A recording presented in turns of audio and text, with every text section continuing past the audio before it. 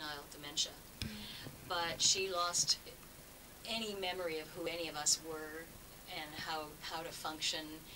And I would go to visit her and I would sing.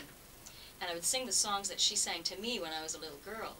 And it was like the clouds parted briefly. And, and I, in fact, I, I sang her a, a song one time and she just kind of, it was like she opened her eyes and she mm. goes, oh, I used to clean you.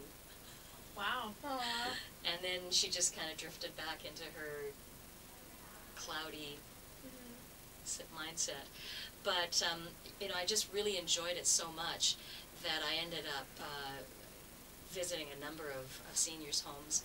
And then recently, a few years ago, I got involved with um, a group uh, that operates out of the, it's called uh, Health and Arts Organization, uh, healthandarts.org, if I, if I remember right, and, and the sub, the subgroup is called um, Artsway.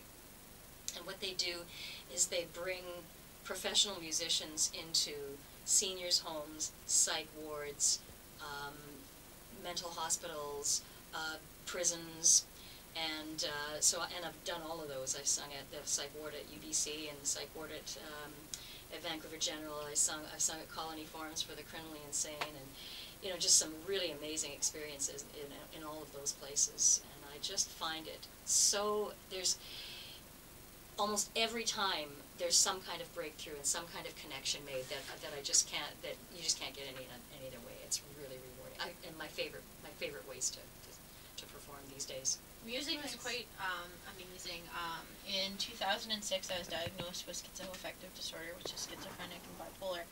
And um, it was before I was hospitalized. I would, you know, I'd be at home and I'd feel really depressed and just really upset about everything. And I would lay on the ground and I wouldn't be able to do anything and move.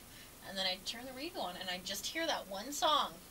And I'd get up and I would start dancing and dancing and dancing and I'm thinking this is what I needed. This song is what I needed to get back to get better. And I said I can do life now. I can do this now. And then the song would go off and it would finish. And I'd be right back to square one again like, "Oh, I can't do anything."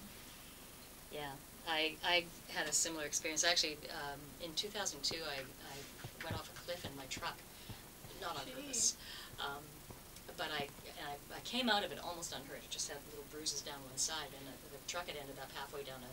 It was up in, in between Boston Bar and Lytton on, on the, in Fraser Canyon, and I ended up hanging on a tree in in the truck, um, just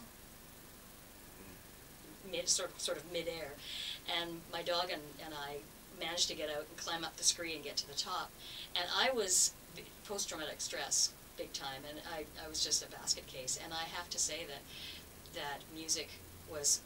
I, I, I walked and I danced, and I would I always, always listened to Carly Simon, "Life Is Eternal."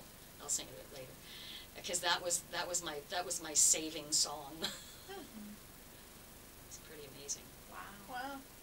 Wow. And how was your dog? She was also completely unhurt. Um, she had always sat in the in the wheel well of the passenger side, and it was kind of, in in a lot of ways, she was what kept me from kind of losing it in the in the moment because I immediately focused on making it a game for her and not a scary thing. So uh, when I kicked my way out of the back of the of the vehicle, um, I couldn't get the passenger doors open. I would, truck was on its side, and I, I just kicked the. It was on like a little SUV, and I kicked the back the back end open, and I got her out. And and we, A little we dog? She's a small border collie. Was she? Um, she had just passed away this this summer. Sorry to hear that. Yeah, at 16. So Well, she had a good. good long Wow. life. Yeah, Hope my uh, border collie lives that long. yeah, she was she was a sweet old girl. Mm. And, um, and we managed to get to the top, and and uh, yeah, pretty amazing. So we've got Clare Brett here, and we're talking about music therapy, but we are going to take a quick break, and we're going to do a couple public service